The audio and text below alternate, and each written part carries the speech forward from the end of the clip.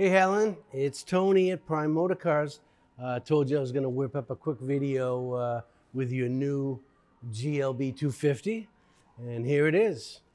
So, um, what I have sitting next to it is actually what you're driving now. So, we'll give you a quick look at that.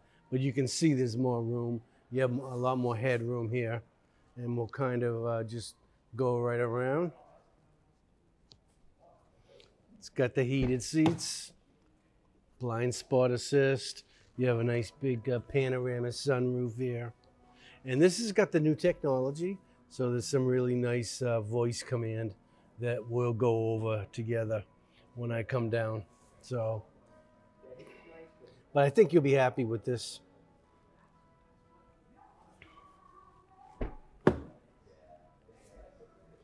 Plenty of leg room in the back seat. And notice too, you're going to get the uh, winter mats with this, which is nice. This uh, rear seat, by the way, will slide back and forth. So. and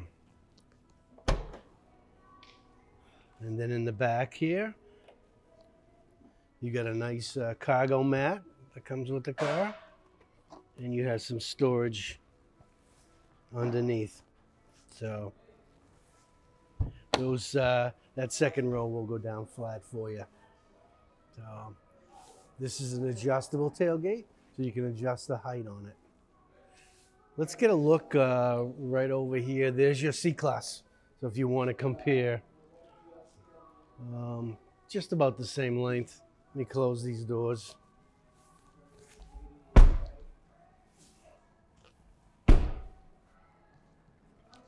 So there it is.